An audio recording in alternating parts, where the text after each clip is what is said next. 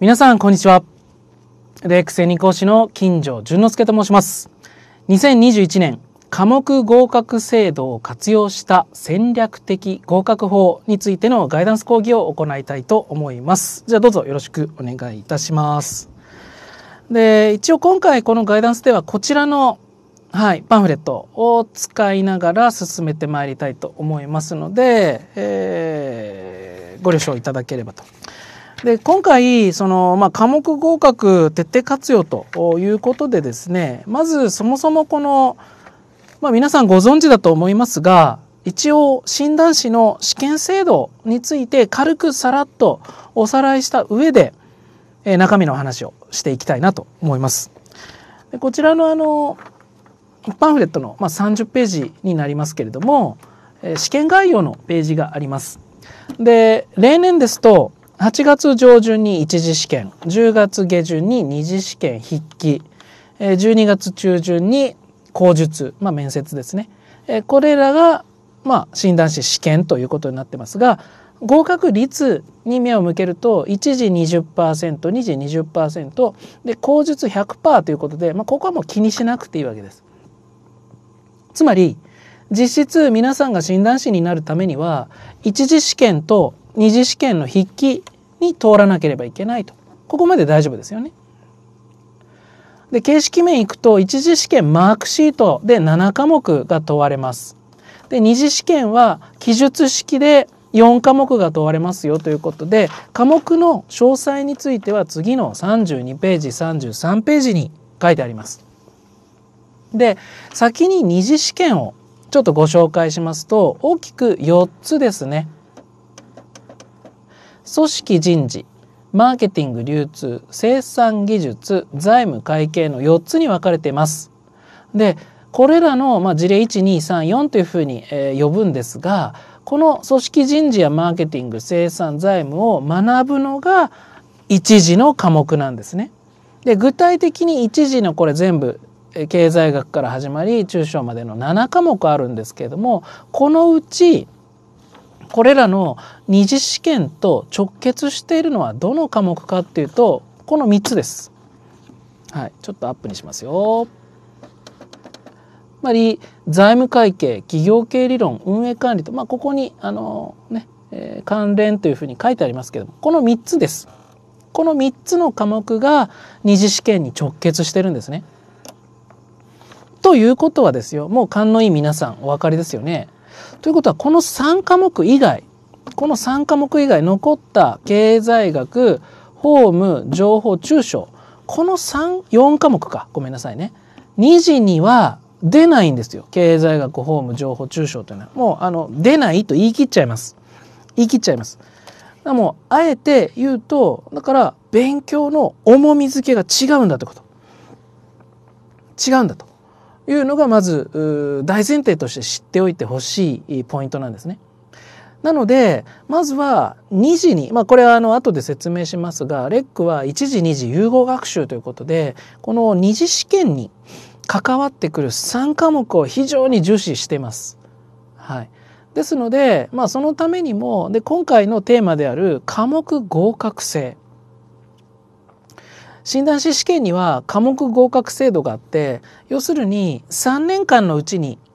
7科目クリアすればいいんです。3年間のうち7科目クリアと。でクリア条件は60点以上取ること。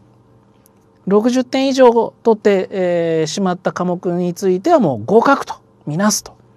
いうことで、まあ、7科目3年以内に揃えばあ二次試験に進むことができるんです。ということはこれを積極的戦略的に使っていこうじゃないかと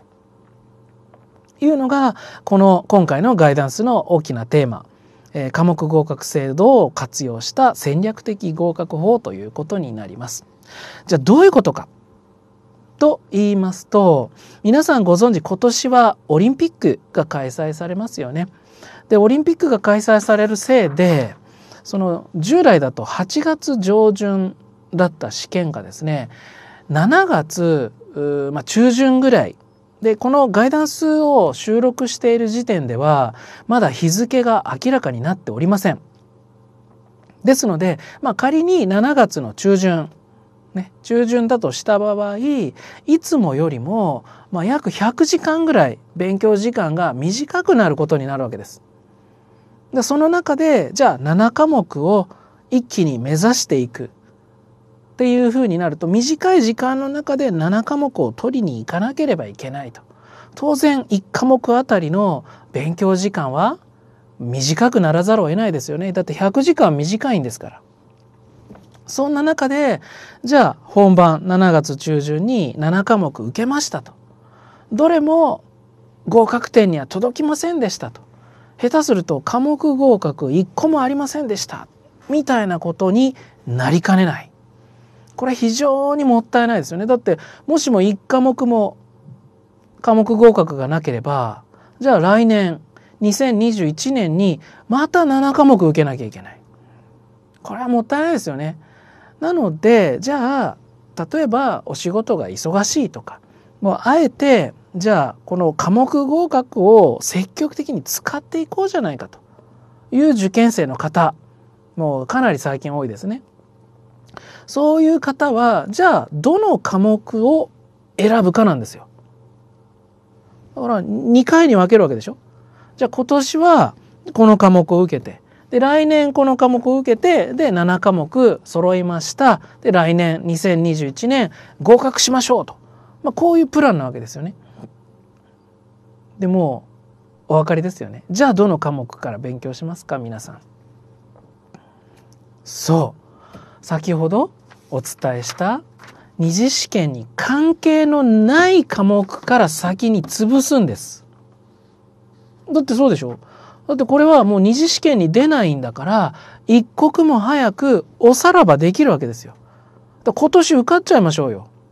この4科目についてはまずこれから7月までねまあ今画面の前の皆さんが何月かはわからないですよ。残された時間との絡みもありますけれどもまずまずは7月中旬に向けて集中するんですこの4科目に。で今年取っちゃいましょうよ。そしたら残った3科目というのはそう二次試験に直結する3科目なんですよね。ということは今年7月中旬にじゃあ一次試験終わりましたと。で4科目合格しました。だから残った3科目ね3科目に集中できるわけです。で当然3科目は二次試験にも直結してますから一次試験の3科目と二次試験の4科目を同時に勉強することができるわけですよ。これが一次二次融合学習。だものすごく効率もいいしまた成果も上がるわけですよね。で来年2021年の8月ですから今度はねたっぷり時間もあります。3科目合格をしでそれで融合学習もしてきたのでその2021年来年の10月に2次も合格できちゃう。もう最高のプランなんですよ。というのが、まあ、今回のこの戦略的合格法の、まあ、ざっくり言うと趣旨ということになります。そこでこのパンフレットの最初のページでは今私が申し上げたのを、まあ、ざっと図にしてありますので、えー、ここを見ながらですね確認をしていくことにしましょう。科目合格については先ほど私が申し上げたように60点以上60点以上を満たしているものがまあ合格となりますよということでね、えー、まあそれですよと。で気になるカリキュラムあごめんなさいこっちか。で関連性ということで1次と2次ねかぶっている科目がありますよって話もしました。でそれをじゃあ実現するこのカリキュラムについてねちょっとこれ全体像をお話ししていきたいと思います。そうするとまずこの上の段ここの段ね上というかこのこの帯ここのラインは一次試験対策です。一次試験対策だからここの段は一次のことが書かれてる。でこの下の段が2次のことが書かれてると思ってください。そうするとまず皆さんにこれから取り組んでいただくのは今年の一次試験は7月中旬です。だから残された時間ね皆さんがどれぐらい時間残されてるかは分かりません。ただ皆さんはもう当然始めるのにはもう早ければ早いほどいいわけですね。それだけ時間が勉強時間が増えるわけですから。でこの中で先ほど申し上げた経済学法務情報中小の4科目ねつまり二次試験に出てこないこの4科目、まあ、周辺4科目というふうにレックでは呼んでますけどもこの周辺4科目周辺4科目についてしっかりとベーシック講座でインプットとアウトプット当連でアウトプットをしますと。これがベーシック段階ね。で、ベーシックが終わった方が今度は次の段階としてステップアップ講座というのが用意されてます。1ランク上がるわけですね。で、さらに最終的に、えー、上級レベルのアドバンス講座と。階段を一個一個こう上がるように、上がるように実力を高めていく講座になってます。当然この周辺4科目についてしっかりとこうレベルアップしていくわけですよね。はい。で、もちろんアウトプットもちゃんと当連が用意されてます。だからインプットとアウトプット両方をバランス取りながらステップアップアドバンスと進んでいくわけです。で最終的に総まとめということで、えー、総仕上げを図っていくと、はい、いう立て付けになってます。だからもうここもう4科目に絞り切っちゃうと選択と集中の考え方ですね。でこれで2020年まず今年の一次合格を目指して一次の科目合格を目指していただくと実際にですね、まあ、過去の1.5年合格コースで合格された方も多数いらっしゃいますしなんとなんとレックではですねこの科目合格、はいえー、された方に対して3科目以上で、えーと、合格報奨金が出るようになってます。はいなので、まあまあ、ちょっとしたね、あの、もう参考書であったりだとか、いろいろ、何かと物入りだと思いますのでね、ちょっとしたこの、まあ科目合格することで、えー、報奨金いただけるものはぜひいただいちゃいましょうよ。ね。で、これをまず目指しつつ、まあ、まず今年の一次試験、4科目合格しましょうと。で、8月以降ですね。じゃあ残った周辺ではなく、今度は主要の3科目です。企業経理論、運営管理、財務会計という二次試験に直結する科目のまたベーシック講座から始まり、ステップアップアドバンスという流れは一緒です。ただ、大きく違うのがここ。二次試験が入ってくるということですね。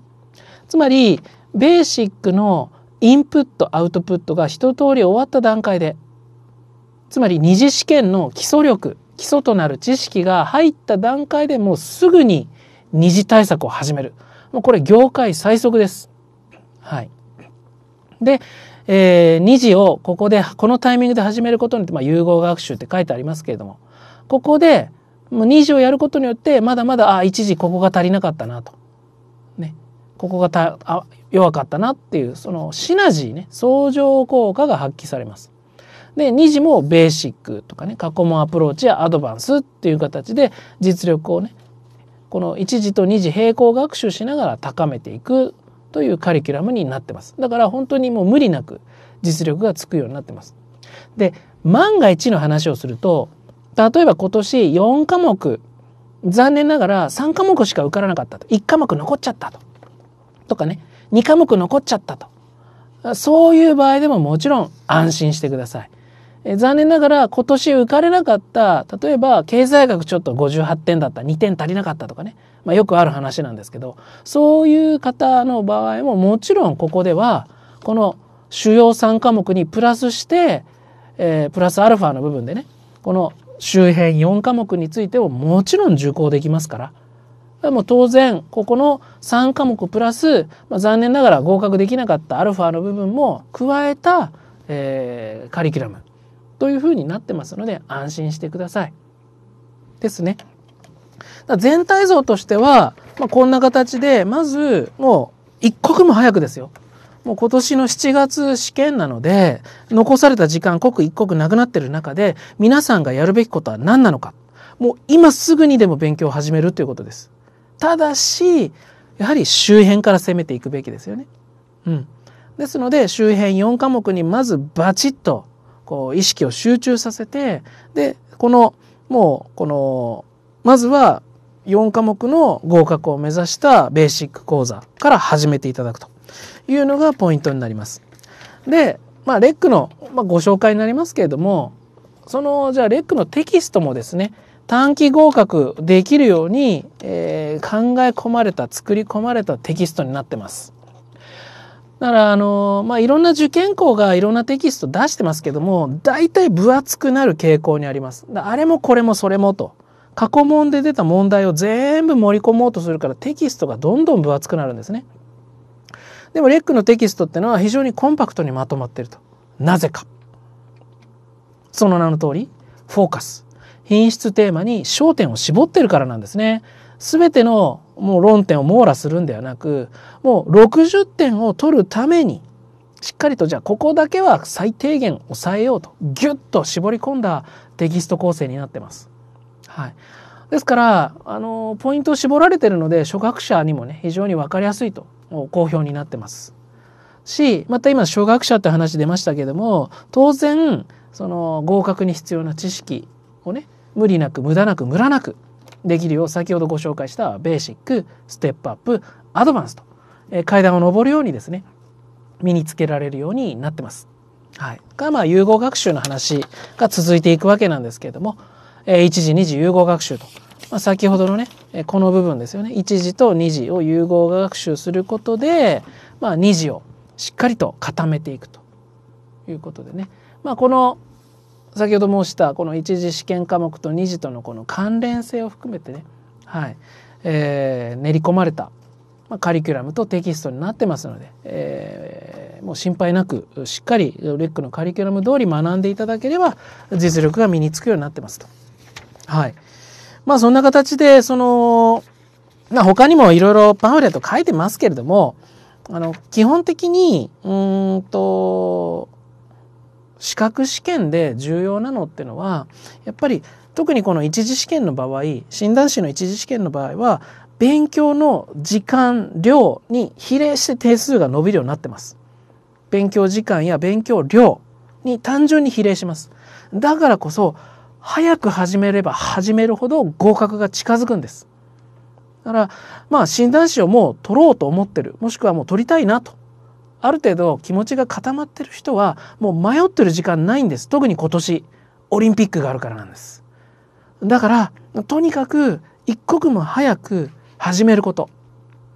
でこのレックのね、えー、科目合格制度を狙ったこのカリキュラムねえ科目合格に最適化されたカリキュラムを使っていただいてぜひぜひ、え合格の栄冠を手にしていただきたいなと思います。あともう一つ、まあ、診断士学習で悩まれてる迷われてるという方もいらっしゃると思います。えー、僭越ながらこれ私がですねあのこれ、まあ、レックとねあの角川の方から出た本なんですが、まあ、ゼロからスタートということで、えー、中小企業診断士1冊目の教科書とだもう迷われてる皆さんはこちらもぜひお手に取っていただいてですね診断士の学習の面白さとかね、まあ、いろんなあの二次試験に役立つまあ、テーマなんかをメインで書いてますので、まあ、こちらなんかもぜひ、えー、お手に取っていただいてあのねアマゾンの診断士カテゴリーで1位1位になんかね、え、なりました。おかげさまで、はい、あの大ヒットしておりますのでぜひ皆さんも勉強のお供に、えー、置いといていただければと思います。はい。というわけでですね、まあ、今回この、